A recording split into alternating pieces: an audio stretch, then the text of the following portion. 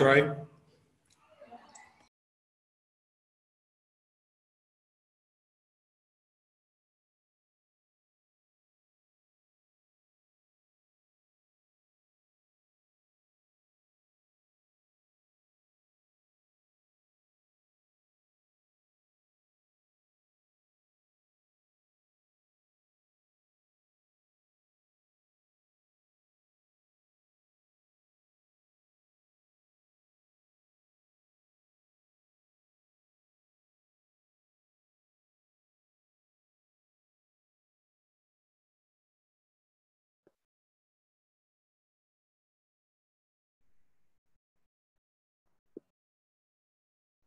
Hello. Ah, can you hear me? Hello. Hi, Nimish. Ah, hi. Can you hear me, guys? Yeah, I can, I can hear you. Okay, I was having some problem in logging in for some reason. Maybe we'll figure it out. Yeah. How are you doing here today? Yeah, good. Thank you. All right. Let's get started.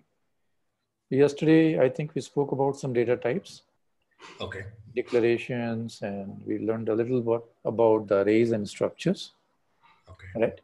So we'll extend that example uh, from structures to let's get into understanding a little bit more about in unions.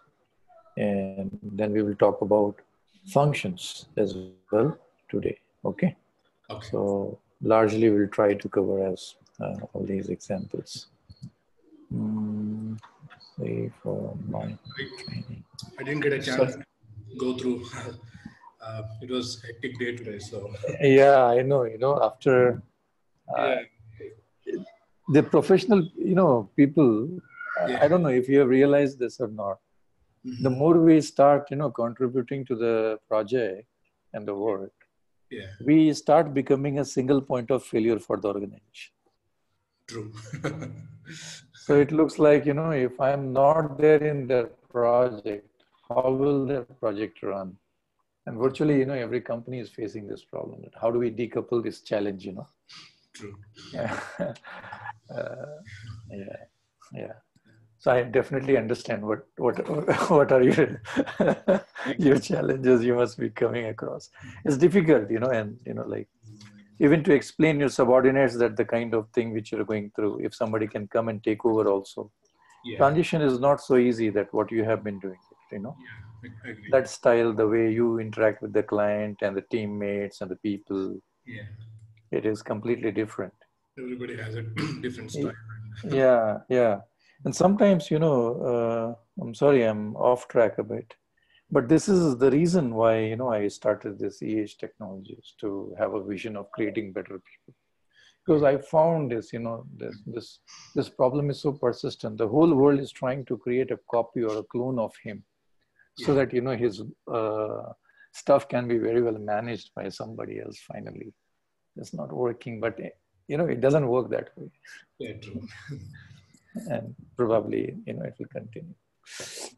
All right so i think uh, uh, i will just refresh you uh, once again that we spoke about some arrays and we spoke about some uh, structures right and we actually took some example about padding and packing and other stuff Right. right? We learned about pragma and then we learned about attribute style, you know, so singling out certain structures.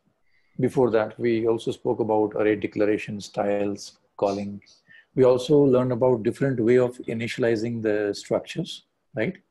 So aggregate initializers versus, you know, the dotted way way of, you know, random initialization. So I can handpick some elements and I can initialize and leave others uninitialized, you know, Yes. and also manual assignment. We also spoke a little bit on uh, uh, the assignment aspects of the array, which may not be possible, right? So Yes. Yes. Some of the pros and cons from the array. Yes. Yeah. But let's add something more here, you know, because you, you can see that you have created a lot of uh, uh, structure variables. You can also do an array of uh, structure. So I can say something like person, and I can say, okay, uh, maybe employees database. And I can give some size, say some 10. So now you have got some, you know, an array of uh, uh, person. So we can have a record stored, something like a 10 record stored. And it could be initialized again in the same way. So you no, first you opening and closing, and then we can have some initializations like this, you know. Uh, you got that, right? Yeah. Something like this. So syntactically, just wanted to be aware, make you aware about this. I can pick some and paste here. I can remove some part here. So, you know, and uh, yeah.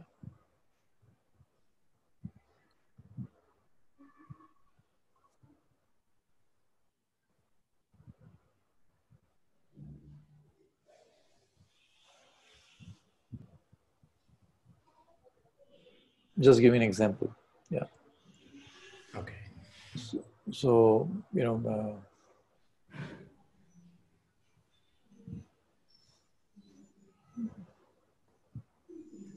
and, um,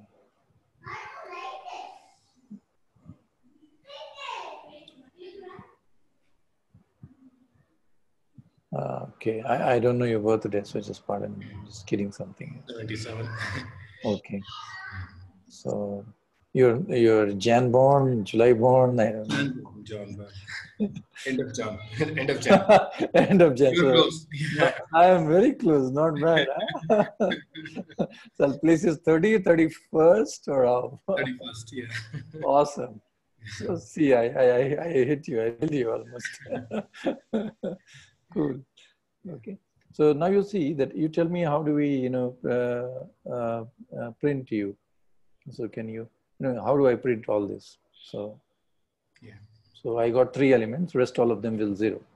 So how do I print all of them? Give me the code for it. Um, I, you know, I want to have these three database to be printed. So how should I approach it? All the three. uh, for loop. Um, Okay, sure. I'll go for for loop because you know there are only 10 records. yeah. Okay.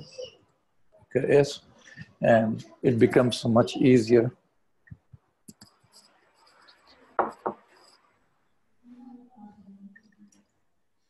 So, yeah.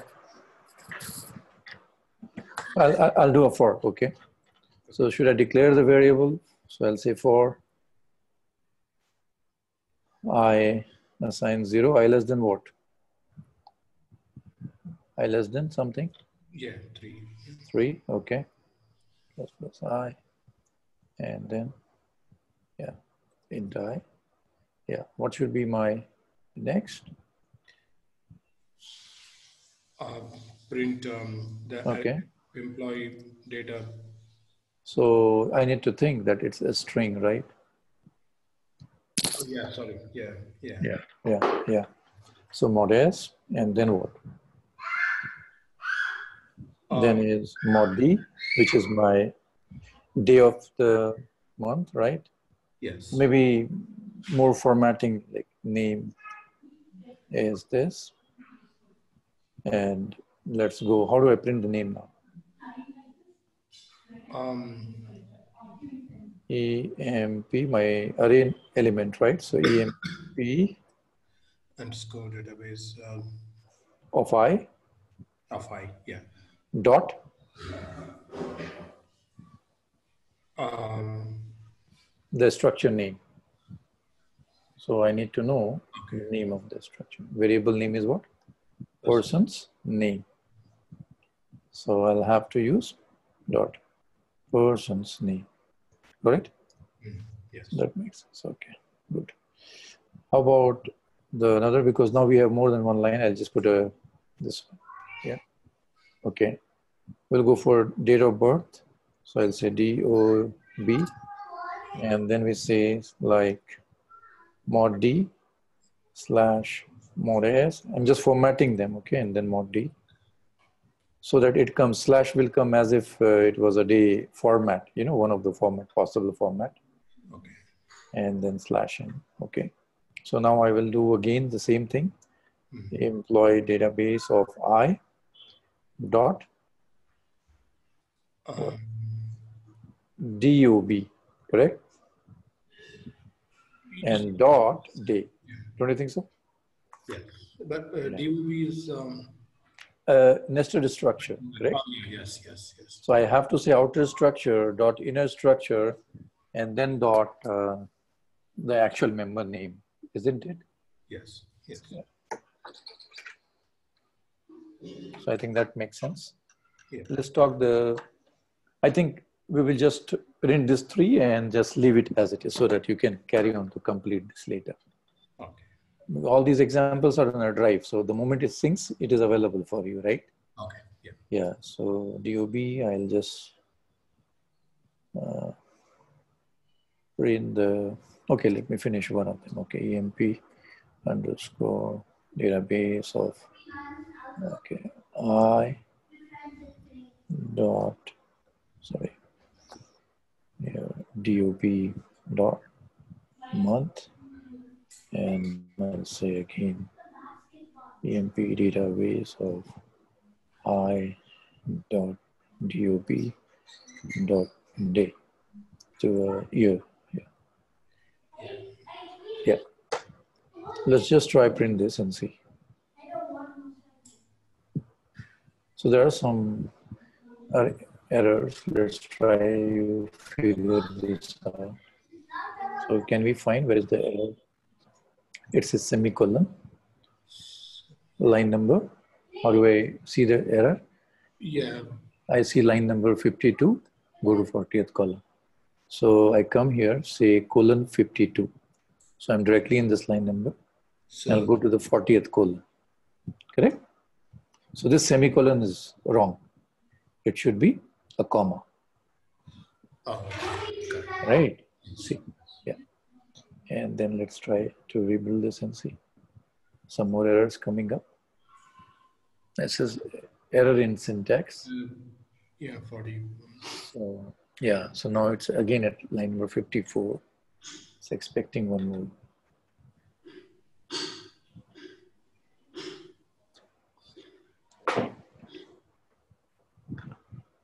Here, this is actually correct because I should be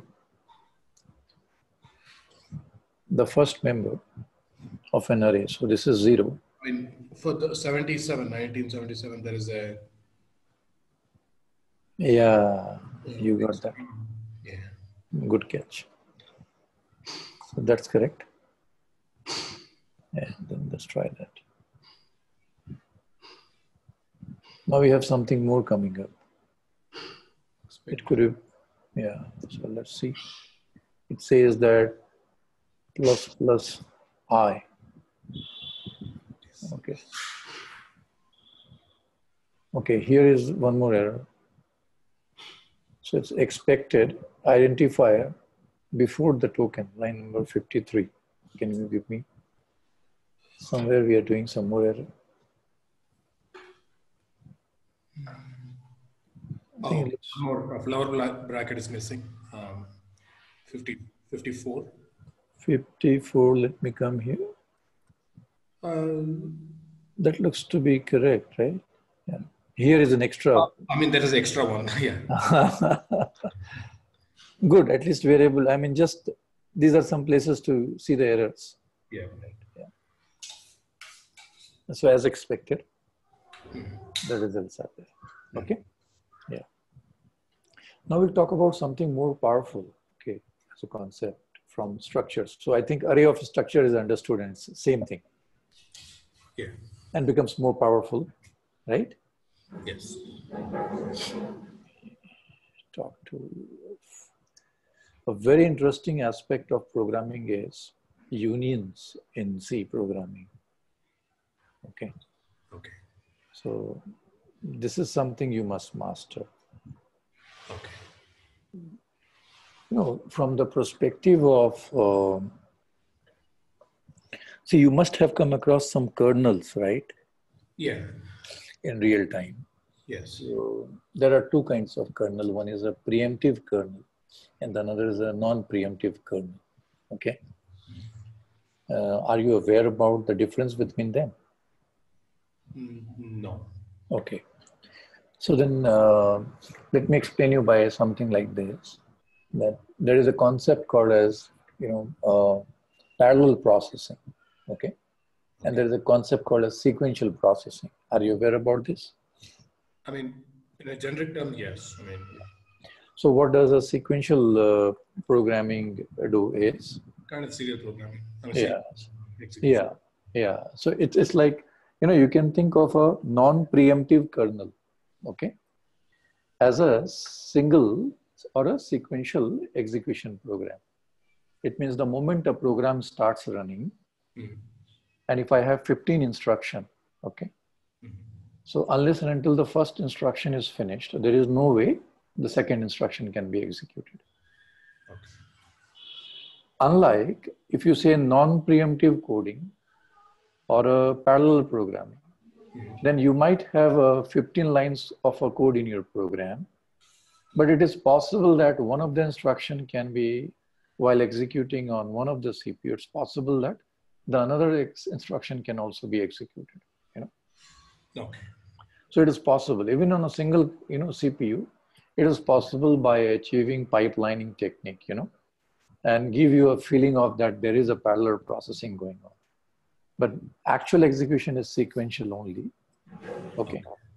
If you have more than one processor, then the program runs it can be made to spin in a multi-threading environment, you know.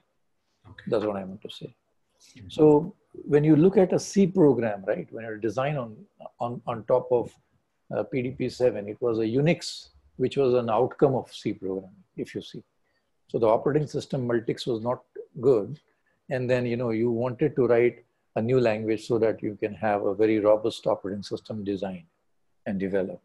So Unix was an outcome of how the C programming, you know, eventually got evolved along with it and they gave you the Unix operating system in this world. And while they did that, hardware were not so competent with multiple hardwares or multiple CPUs, you know. Those days were like, you know, microcontroller with, you know, or uh, processor with 10 megahertz, 1 megahertz, 15 megahertz, and that were like uh, great PCs, you know. So, you know, if you look at C programming by default structure also, it is sequential in nature. Okay and uh, uh, you know so uh, by default it cannot have parallel processing so it's so what we do is we take help of multi-threaded libraries. Or some third party you know extensions from the vendors by which part of my program can execute in parallel and union was designed okay not looking into this parallel execution in mind. Okay, Union was an example of a shared memory concept. Okay, Okay. because in embedded applications, there were scenarios where memories was a huge constraint. Okay, Mhm. and the same hardware could represent differently the same location. For example, a 632-bit register could be represented as two different 16-bit registers. Okay. However, when you combine them together, they refer to the same physical location, what it refers to a 32-bit location. You understand that? Okay. Yeah. So what I mean by this is suppose if you have a re- hardware register, which is a 32-bit register. Okay, let's name it as say R0. Mhm. So R0 is right now what? A 32-bit register. Now, these 32-bit registers can be made as R016 and R031. So, or R0 to 15 or R0 lower and R0 higher, for example. Yeah. So R0 lower refers to the 16 bit and R0 higher refers to the 16th or the 31st bit, you know, something like that. But when you write the data on that, it both refers to actually one physical register R0. You get that? Yes. Yes. Cannot be achieved unless until we had a mechanism at, in the language. And that's the purpose of union, you know, altogether.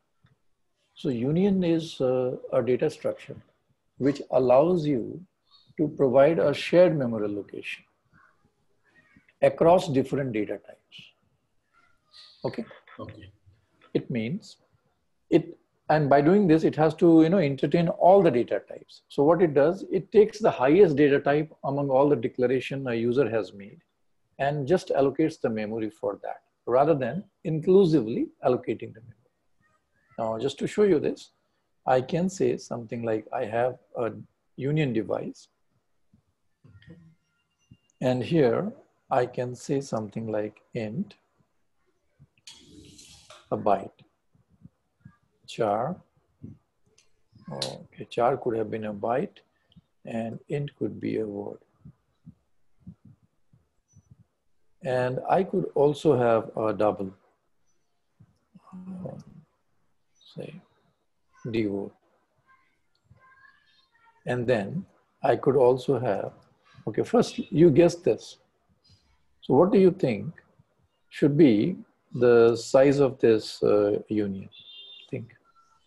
Um, int is four, uh, character is one, five, double is um, two.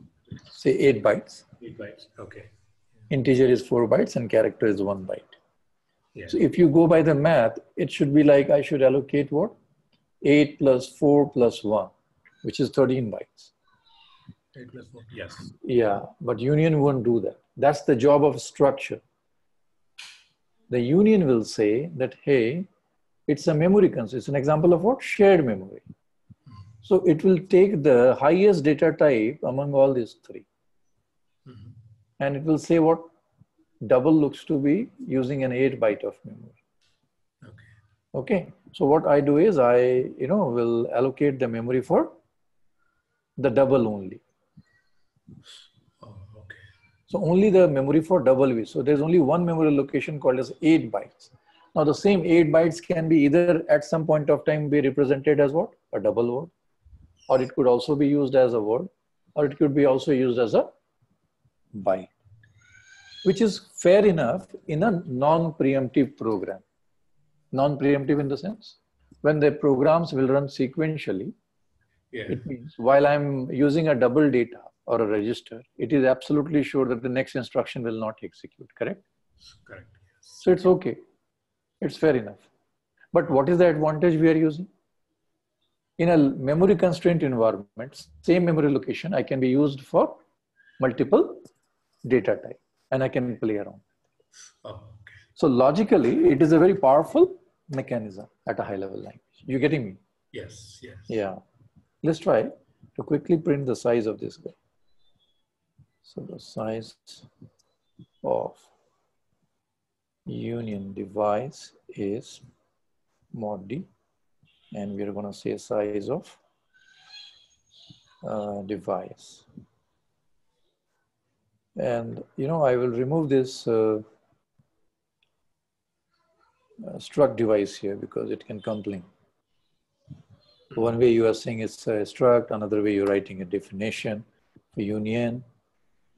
And I'll make this as a type def. So type def, union, device, device. Okay, Okay. let's try build this. You can see the result is Eight. Okay. eight bytes, very clearly. So what does it say? It says that now let's try to access. So how do you do that is, of course, I can say, uh, say some device, eval device, and, you know, I can say uh, initialization also, I can do this, but you know, the results will be undefined. 4.4 and then I'll say a word say 0 cross FF and then I'm going to say A. Okay. So because you are initializing all the three, you know, yeah.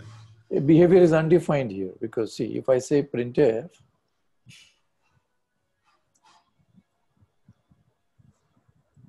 eval, okay, I'll just use mod D or LF. L is, LF stands for long float, okay? Okay. Which is to print a double. Okay. And then you would say, same, you can access as if it was a structure. So all the syntax remains the same, only the memory location. Okay. This is also, people will ask you what is the you know, difference between uh, structure and union. Okay. So you can say that, you know, you can, structure is the one which takes the memory for all the elements which you have declared. Mhm. And union takes the highest data type in a, in a, uh, to allocate the memory. For example, you know, you can give an example. For example, if we have three different data types like this, the size of it will be something like this. Okay. Okay. Yeah. Yeah. So eval dev dot say, want print d So, you know, because it, the initialization has been done for all the three. And if you want to have an access, you can see here. Access elements in union initializer. Union should only initialize any one at a time. It's not a struct. So that's why it's a warning. So how we should do is have one initialization. Say I can either I could have done only for one. I'm just trying to show you a legal way of using it. Okay. It's the word, uh, and then it should be assigned to say, you know, 12.4. This is fair enough. Assign it temporarily and use it right now. No worries. Out. Yeah. Can you see that? Yeah. Yeah, Yeah. that's fine. And it is expected, hey, tomorrow if you want to use uh, the another element, use it. For example, word, and you make it as, uh, say, 0 cross FF. 495. And then I'm going to use a word is. And because word is a D, I can print that in hex, by the way, by saying mod X is a hex number, okay? So if you're printing an integer, can you see that? FFF being printed in it. Yes. Yeah. But uh, I mean, it's not reading from the. It's in the same memory location, you know, only one location, right? Now, the interesting thing will be, what about the D word at this moment? While we have overwritten, you can see the behavior of it is completely undetermined. Okay. So I cannot guess that, hey, 12 is still retaining or something. No way. It can be corrupted. Okay. So imagine that tomorrow if I say well, uh, word, okay,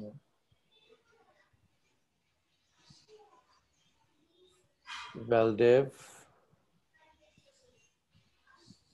dot, okay, I'm running on a low battery.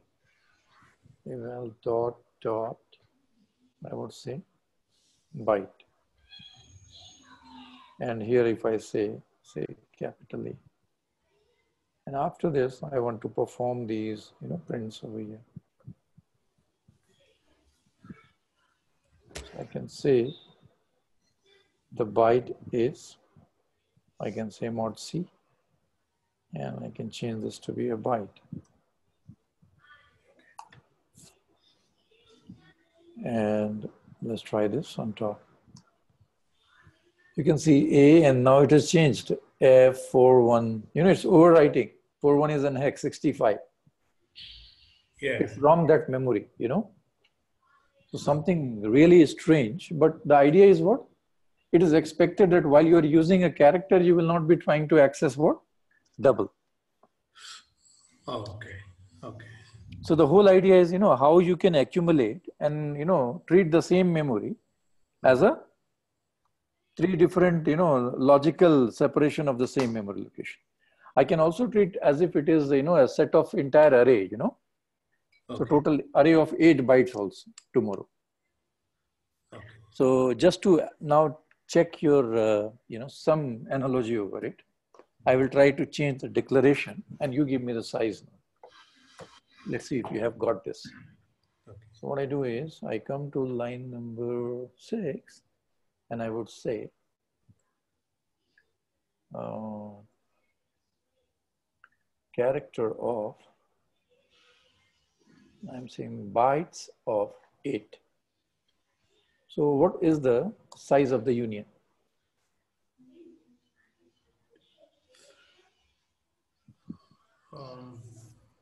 Let's think. the char Char bytes is an array, right?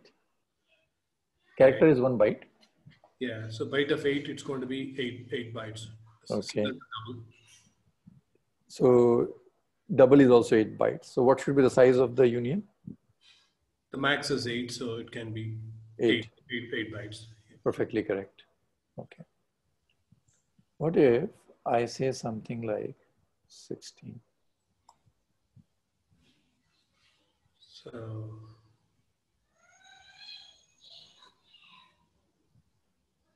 What will be the guess? Now I have made it as um, 16 here bytes.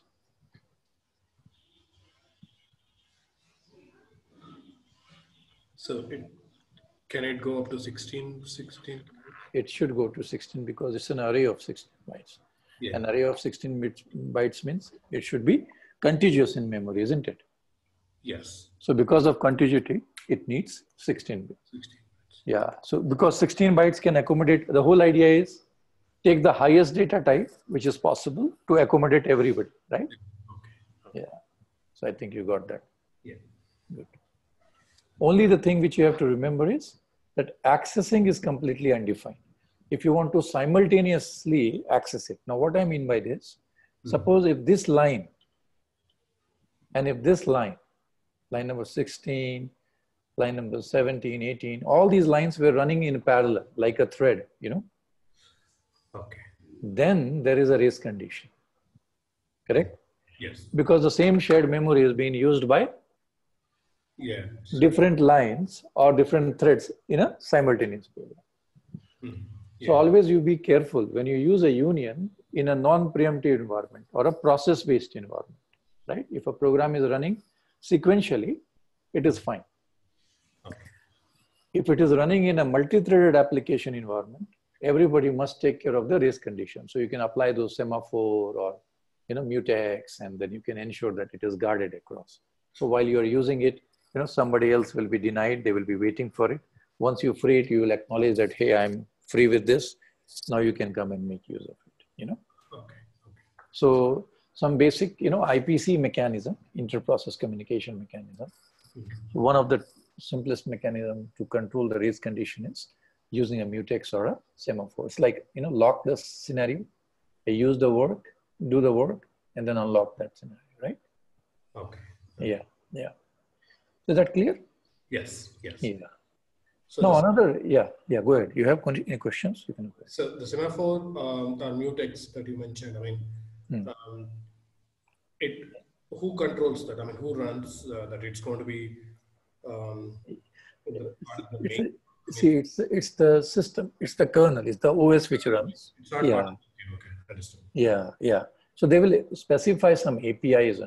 For example, if you wanted to use a POSIX semaphore, you have something like pthread, or you can also think of sem underscore open. So, you know, you can initialize an opener named semaphore. You can have APIs like semwait. So it does what? It locks the semaphore pointed by a sem, correct? And similarly, you have functions like post, by which you release or unlock the semaphore. You know, Okay. so you know, programmatically, what we could do is declare the semaphore, and while we are doing this assignment job, I will lock before this, unlock before this, lock before this, unlock before this. Okay. So I ensure that while this line is being run, no other threads can disturb it. You know, Okay. something like that. I hope that answers you. Got it. Thank you. Yeah, sure. All right. Now, I will add something more about this. There's a concept called as variance in Unix, uh, sorry, in C with union.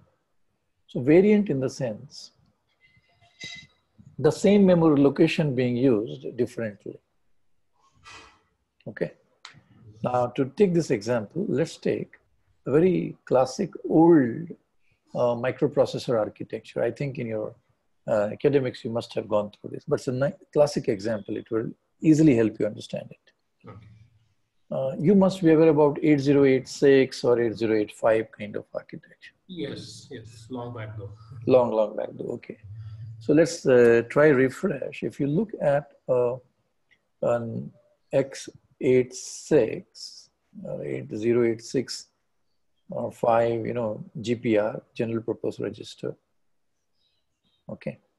Mm-hmm. It usually contains 16 bit of registers. So 16 bit can be represented by something like short and unsigned sort. When I say unsigned means, by default, all the data types when you declare as signed, it means it can take negative and positive. When I say unsigned, it only accepts positive values. Okay. Okay. So, yeah. So the size of uh, uh, a normal character is uh, 8 bits when it is unsigned. And if it is signed like this in line number 6, it's 7 bits. One bit is used for you know finding out whether you are negative or positive. Okay. Yeah. So short is a perfect uh, data type which guarantees that 16 bits will be allocated for. Now what we can do here is AX, BX, CX, and DX, correct? Yeah. Yeah. Now the same data structure, okay, in the 8086 provides another way of accessing the same memory location called as AL, BL, AL, AH. Means A accumulator lower, accumulator higher. Okay, B register lower, B register higher. Similarly, C register lower and C register higher. D register lower and D register higher right? ALAH, BLBH, CLCH, DLDH, yeah. this kind of register. And if you combine AL and AH, which are eight bits each, so one byte each, so these two combined together is as good as referring AX. AX. Now, how do I, you know, combine both of them? so that they refer to the same memory location. So I can say something like a union eight six and here we can bring in struct GPR say word and here we can say struct x GPR so I need to make it as two different names because both refers to same. So I'll say W and I will say B. So same thing I'll suffix here, W and I'll see B. And here I'll say byte. Correct? Yeah. So now see, suddenly you have, uh, and then I'm going to say this as on okay, type def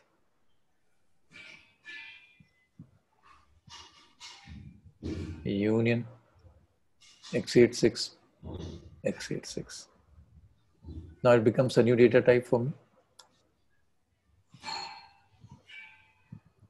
correct? Um, yes yes yeah. Uh, type def union is an x86 and then x86 so x86 becomes a new a union data type. Okay. Right?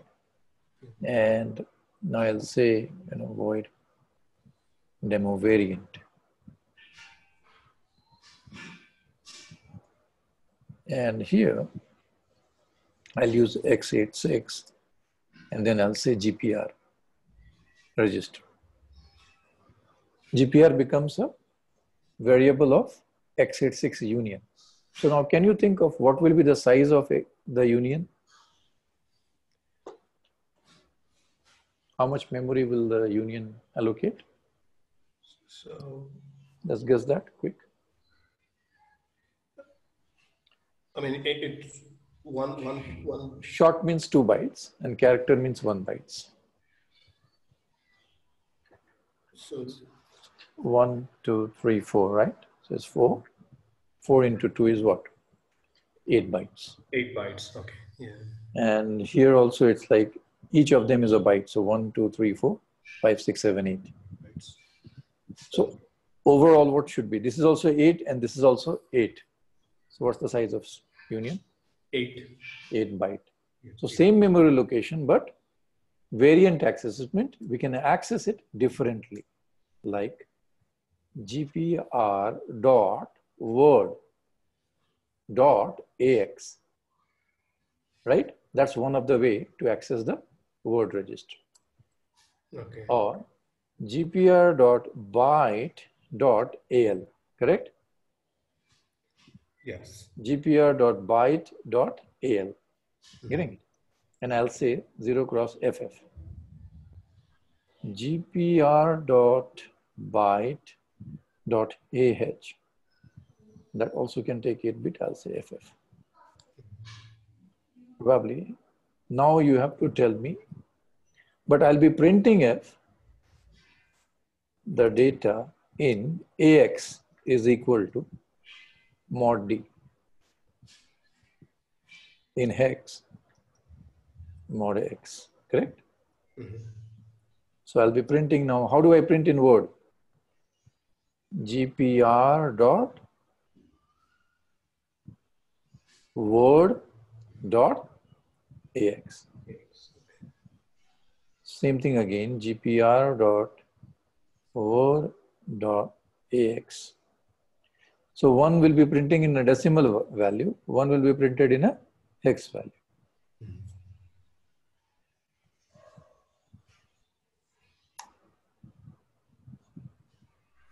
Okay, the problem here is I've written this function, but I haven't called them inside the main. So the function definition is written at line number 28, but we haven't called them. So now what I do is I comment this function, demo union, mm-hmm. and I'll call the Demo. demo variant. Makes sense. All right. Then now let's go this. As expected, what happened? Yeah.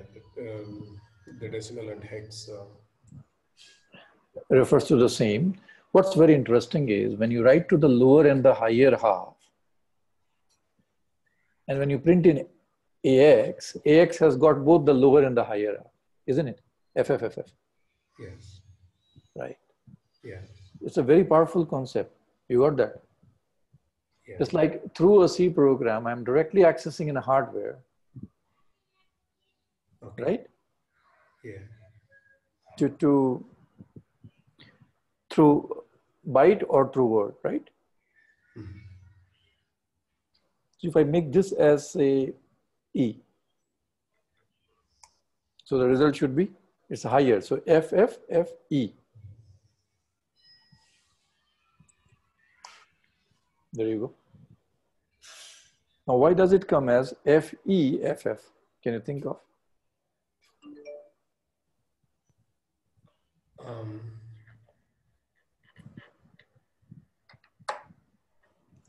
the Intel machine has this byte ordering problem. Little endian to a big endian. yeah. Little India. Yeah. Right. Uh-huh. So it's because of LE. So when I say AH, it's on the lower end side, Yeah. correct? Yeah. And that is why you are seeing FE and FH, correct? Yes. Yeah. Now for this, you can also plan something more interesting, you know, like how do you know the endness of an application? How do you know the endness of an application? So whether it's a big endian or a Little India. little endian. So union with a variant provides this fantastic, you know, access to you. We can do that. Okay.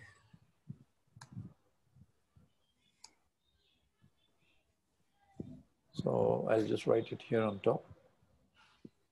Or maybe near to the main so that we can browse together. Yeah.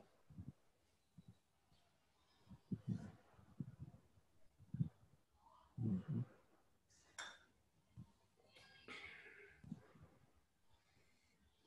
Okay. I will remove this and paste it here itself. Yeah. Let's have another. So, if, okay, I don't need this. So let's consider endianness. How do I test that is, I will take a long data Mhm. And then I'll take an integer, no, not integer, the character. So I can say an unsigned long integer, and I can say an unsigned character byte of zero. So here instead of zero, I'll say four. Why? Because long is also four bytes, and character is also four bytes. Four bytes, yes. Yeah. And notice what I do is it's a trick. that I can use endianness, which is, in this case, I'm not using a type def. I'll, then I have to mention union, endian.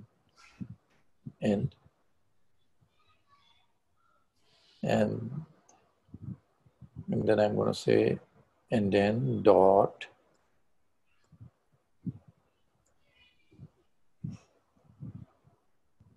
data is equal to 0 cross 1, 2, 3, 4, 5, 6, 7, 8. Okay? Okay. 32 bit data. But while printing, what I do is I say, see, I'll format that. I'll say uh, 0. So I'll say byte of 0 is equal to mod hex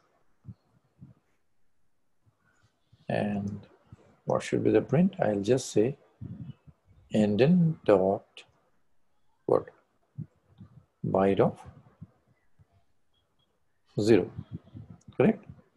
So I'll come to know in the zeroth byte which is stored, whether it is zero one stored or seven eight stored.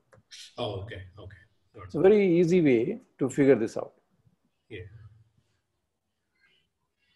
And this technique can be used for converting a big endian to a little endian. You know, sometimes you require to Mhm. convert Okay. a program. So you you can you know think of this kind of union as a very interesting logic. Yeah. So R three, and now let's try this. Wow, isn't it? So the byte zero itself stores what seven eight. So Yeah. MSB is there in the LSB. Is it not clear? Yes. Yes. Yeah. So if I had a big endian like PowerPC or something, I would have got byte zero is equal to one two. Correct. Yeah. Now suppose if I give you an assignment that hey, can you do something like this? Uh, convert a big endian to a little endian, correct? Yeah.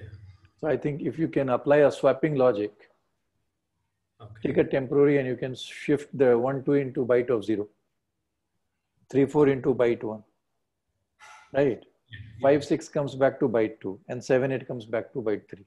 Mhm. Done, right? Yes. Yeah. Yeah. So sometimes this is one. Sometimes this is also a technique via which you can access certain bytes of a word or data. So suppose if I have a long, if I have a four byte of a data and somebody wants you to access the third byte of a data, what you could do? You could just wrap that inside a union and access it, Okay. right? It refers to the same memory location, but in byte order, correct? Yes. Yeah. Yeah, yeah. So think of tomorrow you have a hundred byte of data or 200 bytes of data or one meg of data. I can say unsigned uh, long of that whatever 128 byte of data is correct? Yeah. And then I can say byte of some 128. So each of that 128 byte block will be uh, split into byte, correct? Yes. and I can start using it in a byte access. It's a very powerful way by which a variant concept is used in embedded applications. Okay. So use union very carefully when you're writing what? A multi-threaded application. Otherwise, you can enjoy the union at, at, the max, correct? Because you do not have any race conditions. Yeah, yeah. So that's the note to take from the union from the program. Okay. okay. Now, there is one more concept which I wanted to talk about related to this is bit fields. So are you aware about this? Bit fields? Yeah. Uh. You know, one of the very common question hardware engineers asked the high level programmers are, hey, I have a register which I want you to represent in bits. So how do you declare a bit in C? byte is fine. But is there any way to declare a bit in C? Is a concept where bit fields comes in picture. Okay. Bit fields is a very advanced version of bitwise operation. Okay. Now, are you aware about the bitwise operation? Um, I, I did spoke this as a slide, but not given you in any example. So see, bitwise operation talks about the way you manipulate a certain bit in a word. So hardware programmers sometimes need these kind of supports. And I wanted to show you them very quickly. So assume that I have a data whose value is say 1010 or say 111 uh, 1 2 3 4 5 6 7 8 okay and now probably this may be not a very good idea okay let me show you something like ff okay something like this and tomorrow, if I want to say, I want to have the complement, I want to flip this piece, once complement of it. So FFFF refers to, can we think of? One, one, one, one, one, one, one, one, one. Yeah. So my expectation is that it will be converted to 0, 0, 0, 0, 0, 0, 0, something like that flipping the bits.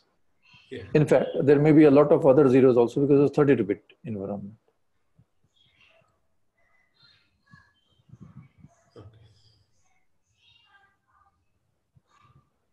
Correct? Yes. Uh, one byte, two byte, three byte. Hey, I, I think one, eight more bits. Yeah, I think now it's fine. So our expectation is it should become something like this. And these all should become what? One, one, one, one. Yeah. Yeah. So how do I do that? Is where once complement comes into picture. I can say printf mod hex and mod hex and slash. And then I can say data, comma, complement of the data. A tilde operator we use. Okay.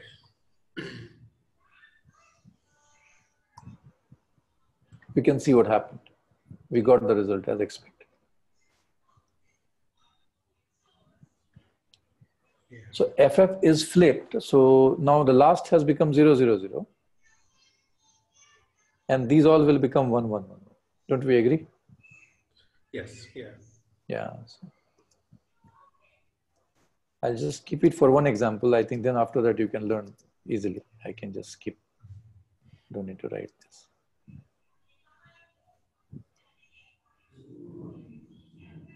Yeah, perfect. So, so it's an example of what? Flipping the bits of once complement.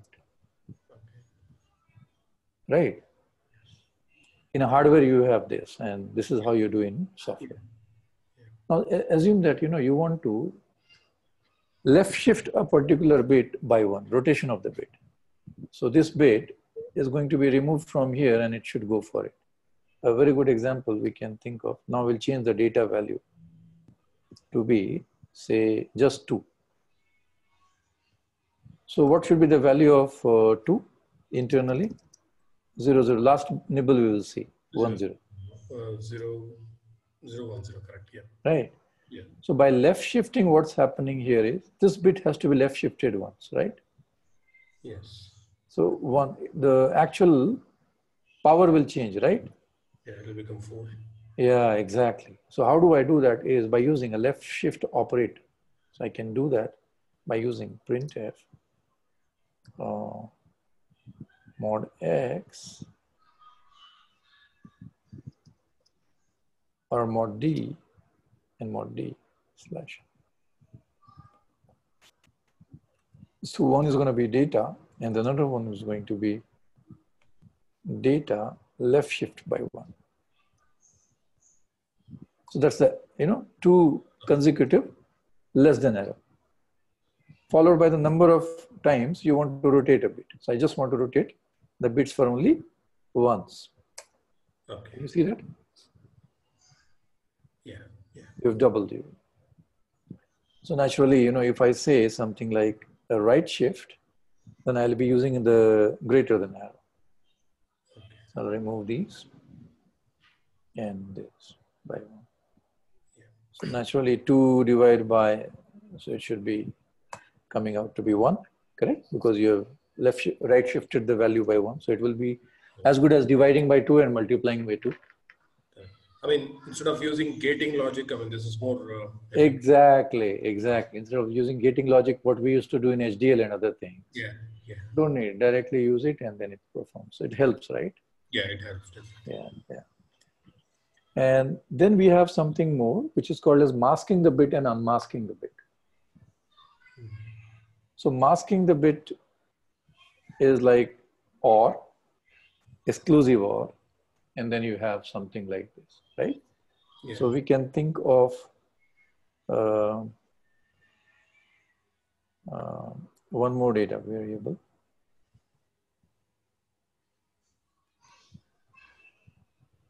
I mean, we can take the example on this itself. What is wrong there? You can always say data is assigned to be 0 cross FF. You could easily guess it. Yeah. So printf, I can see the masking of bits. So gated and logic, you know. Is only done by this. You know what is gated and it clears the bit.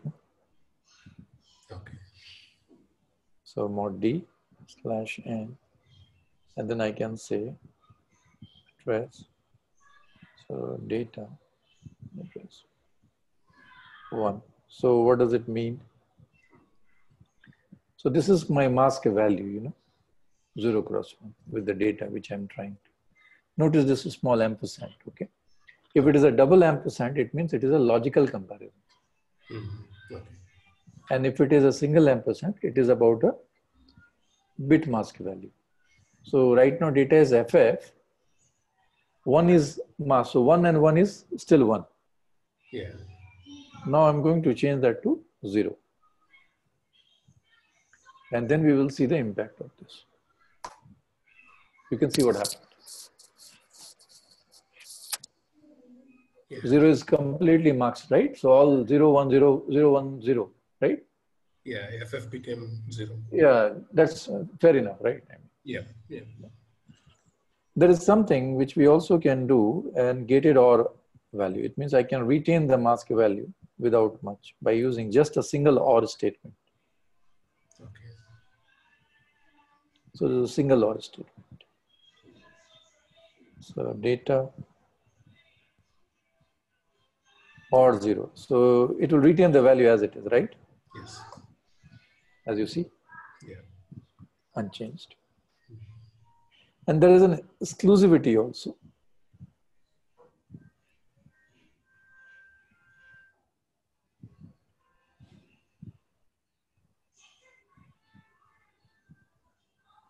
which is uh, by using a power variable. So I'll use uh, shift and 6 for this, okay? Which is your caret. It looks like a power variable. This is an example of exclusive XOR. XOR, okay. So if both are lower means it is high. If it is both the high, it is a low. Is correct? Yeah, yeah. In this case also. Almost like an XOR because we haven't given any value here. Yes. Yeah. So these are some, you know, very interesting, uh, you know, bitwise manipulation. So what I can see here is by using this, we can shift the bit or manipulate the bit or in combination of all this, we can mask a bit or program the bit, correct? Yes. But it's pretty cumbersome, you know, to plan what should be the mask value. Ultimately, it boils down to that calculator, you know, in your mind. Yes. That what is that mask value on this which will fit very well or something. Mhm. It's not a very convenient method of representing a register which is in bitwise, you know, uh, distribution. That is where bit fields comes in picture. Okay. So now let's look at how does it look like.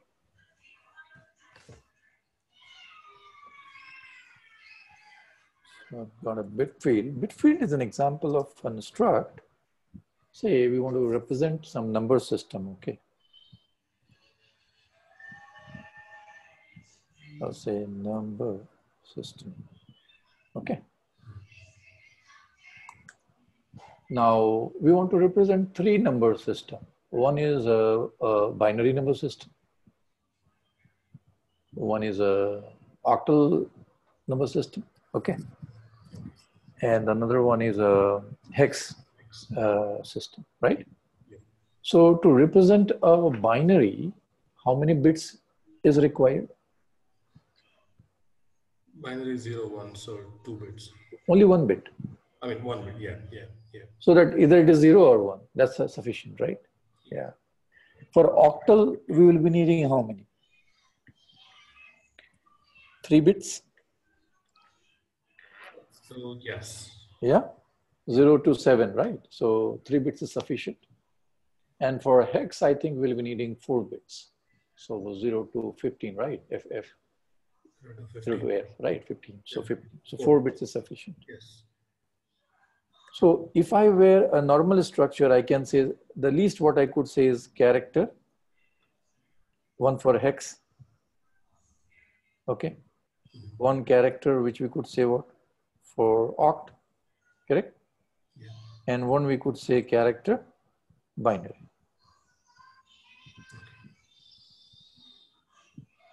Correct?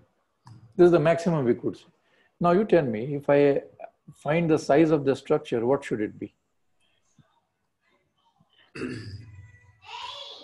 So three, uh, three bits, or maybe if it is padded, it will be four bytes. four. Yeah. But because all of them are in the character, maybe it can access it as if it is a three bytes. Let's look at this. Size of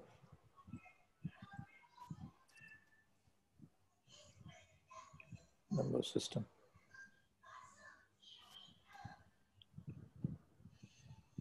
Let me, you know, typedef this. Becomes easy. Type dev.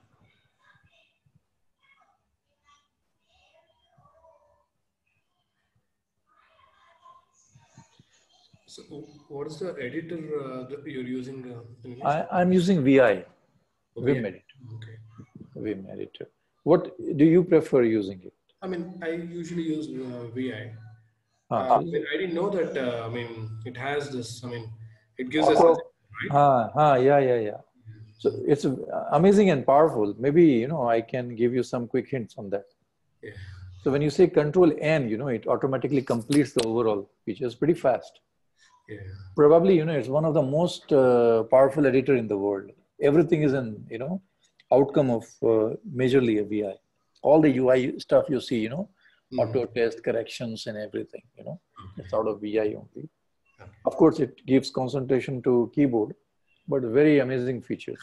Quick search, quick, quick replaces, multiple windows, navigating across source, Yeah, and also splitting the screen. I mean, A split screen, view splitting. And yeah, it's really cool stuff. Using across windows, like we can use Control W W to switch from one window to another. Mhm. yeah.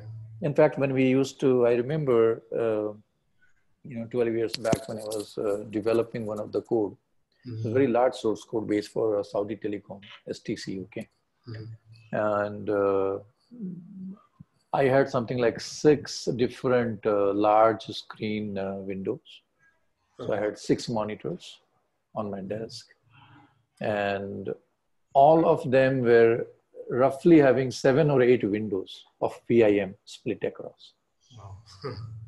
Because you know there was there were some uh, algorithms which were flowing from one source code to another. okay. So I always used to have all those you know 83 windows aligned. Mhm. Mhm. Nobody dares touch my monitor. Can only be switched off. It cannot be restarted the machine. So I come back in the morning and you know um, I'll switch on all my monitors, and it's a you know it's easier you know in front of you to see okay from this code now it is jumping to the you know 17th uh, source code, which is in the screen number 11, and then from there it is going to the 15th screen. It's coming to the 53. Must But uh, yeah, yeah. It looks like you know you are a nerd there, but it really if if you are a nerd, it is uh, so be it, right? yeah, it's good.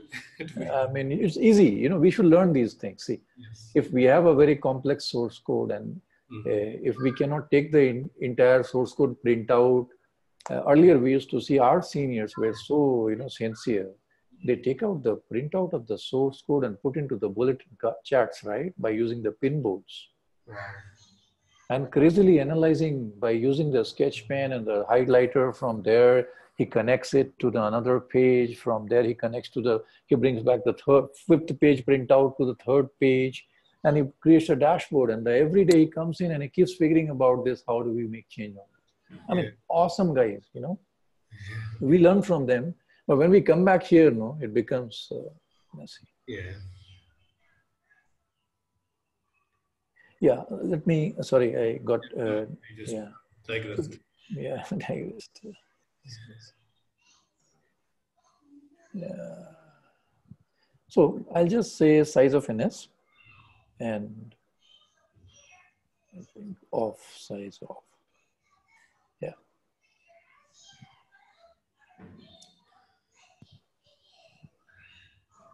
You can see three bytes as expected. Yeah. But imagine if we can have this uh, modified as a bit fields. What if I could have one byte of allocation and I can split them across bits? Will be amazing, isn't it? Yeah. So that's why we do something like unsigned char hex text. Now you see this syntax. After the variable, I say colon and then say four.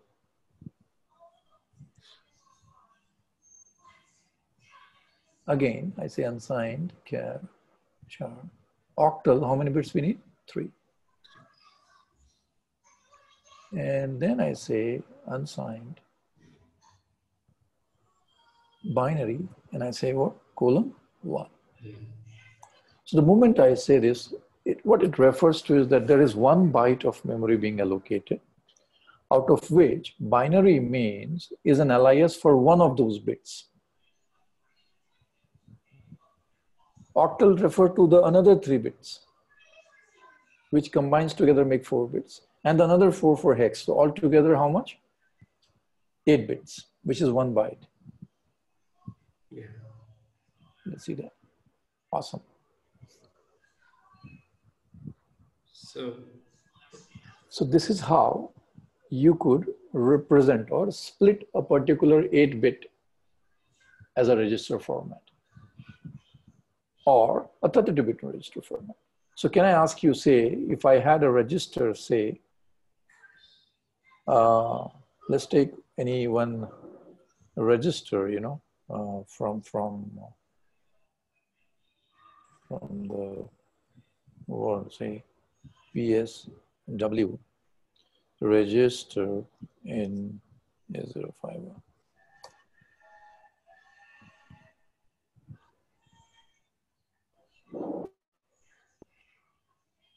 So, yeah.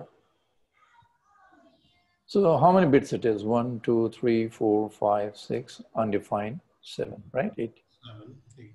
four, four, eight. So how do I represent this in C software? If I have to represent a PSW, for example. If I remember these, CY, CF0, or any other, I mean, just I'm giving an example, right? Yeah. So tomorrow, if I have uh, another register, say MSW, so in ARM, or maybe PSW, programming status word in ARM, PSW, yeah. So now the status registers will explain me about, you know, all the different uh, format. I'm, I'm not sure if they've given a diagram. Yeah. Okay, it has. So you can see here, it's like bit zero to bit seven, CY, carry, auxiliary carry, F0, RS1, RS0, bank selection, overflow, and so on and so on, correct? From an ARM perspective, it has given you one variance, right? Yeah. Something like this.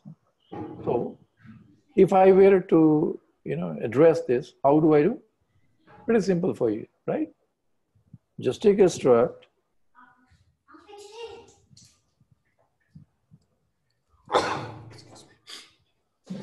Yeah. So struct, and I can say something like PSW. Okay. Uh, that's one. Are they getting scared over here? They don't have a 911 here, by the way. yeah. yeah, you know, uh, you you must be aware, right? I mean, I like, am very much. schools uh, to call if there is any trouble. Absolutely. These guys are like fantastic, Yeah. fantastic over there, you know. Uh, you know, I know, I know. what to say, what not to say, and I- I hope you guys have not served the, the in the park your time and all, right? luckily no. my my uh, I remember this incident again. Can I take a couple of minutes on sure, sure. Okay, Morgan, he was an outstanding, you know, design engineer from for Texas from NI. Okay, Mhm. he was my classmate. He is still in Houston. So, yeah. I mean, he has a team. You, you know, there is a, there was a, a very popular hardware architecture from uh, uh, from TI, which which Yeah. which yeah. So it was designed by him. You know the Oh, okay. yeah. So the Beagle board. Oh, the beagle. Oh, yeah. Yeah. So the, the Beagle was designed by this guy Morgan, Wow. internal team from TI, and he was also a contributor to OMAP series. I was a I was a very old part of uh, uh, Power Optimize DDR RAM, so PWSSP and XIP, execute in place flash. So I designed that in 97, 96 Wow. uh, as a hardware design. Mhm. So this guy, you know, he stayed in the US, and while the kids were growing up, you know, Mhm. uh, this guy had an, you know, he had a ha- habit of controlling things, you know. Yeah, it's inherited in us, you know. So yeah. yeah. All Indians do that. We do that, right? This guy has tried a lot there, and. The neighbors has called 911. This guy has been jacked completely over there. and his his kids were immediately taken to the custody by the social security cats and then you know Uh, uh, sec- security mainland and they were given child child care. exactly Yep. and and you know like for six months they were without the kids and they were given a task that every you know uh, evening you got to go from five to six and four to five for both of them separate timings okay. and hourly spend five hours of time with the kids in the park. and uh, there is somebody who's going to come every week and going to review them. and after you know, after six months, they have cleared and they have sent the kids back. Kids are like, it's cool, you know, not to be at home. and and he wants to come back then the kid says now "No, not so difficult you know it's been Yeah. there for more than 23 24 years he has a green card now Okay. he, Yeah. he wanted to come back and the kid say okay dad you can go back we are They don't- they don't- yeah we are anyway americans so you can enjoy your country back Yeah, I mean, Anyway.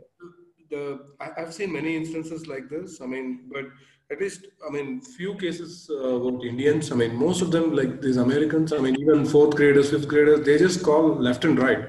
I mean, seriously seriously i don't know i mean yeah I mean, that's that's the difference you know in, in yeah. I mean, the way we we grew up. I mean, completely different yeah my parents used to hit me and you know punish me. of course of course of course yeah. oh, it's all, we get it's all uh, like yeah, we were really well beaten up. I mean, that's why we are so strong. I get sometimes we feel like that, you know. I agree. so, uh, all right, good. At least the the the kids have reminded me back. Yeah. yeah. So I was just trying to. Okay, sorry. uh, Let's come back. So I was just trying to say, you know, if we had these variables uh, known to us, like these CY and AC and F0, so CY, so carry, Mhm. uh, and A0 or AO, auxiliary carry, again bit one. So it, it is, you know, and, and I'll just say da da da. I mean, just something like this. Say, if you have a reserved stuff also, you can say uh, um, unsigned.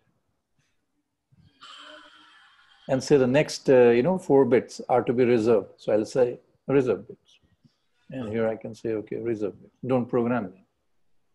And tomorrow, when we want, we can uh, always enumerate them. In the next version of the hardware, if I want to use this particular bit, maybe I can start using the bit, right? Because my hardware would have complex, and these bits might be used for something else as a representation, isn't it? Yes. yes. So this is a very interesting way of how hardware engineers get a sigh of relief that hey, in C we have this ability by which we can directly, you know, program the bits or represent the, you know, register bits the way we used to do in, you know, in our HDL code.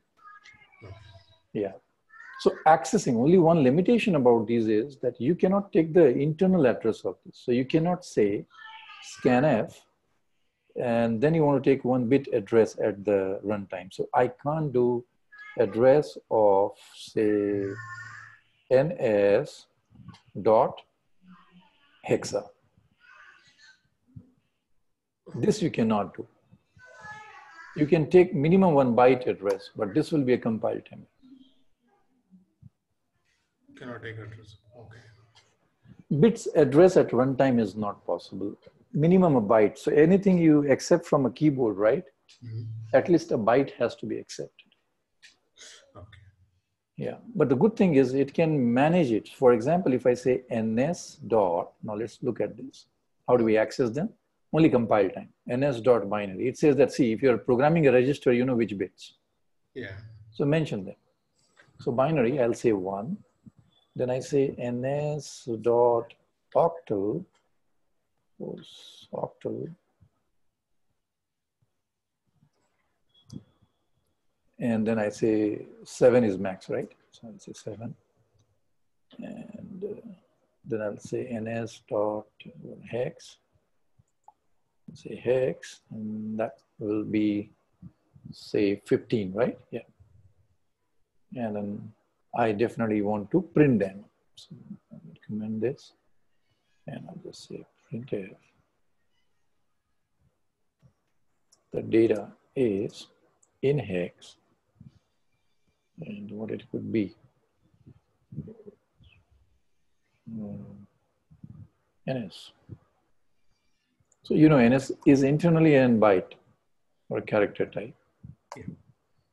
It says, of course, you know, uh, the NS doesn't have an hex number. It is an hexa. Octal and hexa, I have taken Okay. Type error. Yeah. I didn't realize. And now though it is uh, an warning error because you know it says that hey you are using a structure then how do you say that it is a hexa value internally we know it's a byte Yeah. yeah which we can cast and make it as it's a character or a hex okay but here we can see the value well printed Mhm. I think I didn't give you slash B, it's a backspace. It should be end. So there is an F being printed, if you notice this one. F, F, correct? Yes. This 15 may be F and this is the another F. So total FF, correct? Um, One, one, see, you know, the whole byte has to be represented. So can we think of how will my variable be represented? Last bit will be one, correct? Okay. Yeah. Then after that, you have written seven. Seven is equal to what? Three ones. One, one, one. In hex, correct? And then yeah. Okay. And then 15 means one, one, one. one. You got that? Okay. Okay. Got it. So altogether, yeah, it's, it's something like this. But stored in other way, you know, little endian, right? So first one, one, one, one, that is 15. And then the one, one, one, and then one, correct? Yeah. Yeah, yeah. So very neatly, you know, programmed. So prefer using bit fields over, you know, bitwise operations because, you know, bit fields gives you an easy way of interacting and touching the bit, correct? Correct. Yes. Now imagine if you were left shifting a particular bit by two or touching or masking a particular bit by using an value or, you know, planning. Uh, struct with a bit field would have been a very good choice, isn't it? Yeah. Because I can directly say ns dot or bit dot whatever I want, correct? Yes. Yeah, yeah. So this altogether completes the concept of all the data declaration styles about structure, unions, bit fields, also about the arrays and some very basic data types like enumerations and basic integer characters and others. So I think most of the data type is uh, covered to you. Yeah. Okay. Okay. So it brings to the end of looping, it brings to the end of data declaration and data type uses. Okay. What we'll do here is take a five minutes break. Okay. Okay. And then come back and discuss about function Okay. in C. Okay. Yep. You- You're good to go, right? Uh, yeah. Yeah. Yeah. Yeah. We'll take it five minutes. Maybe we'll take a five minutes break Yeah. and then come off for at least some half an hour more, right? Oh, sure. All right, then I'll be muting and then back. Thank you. Thanks. Thanks.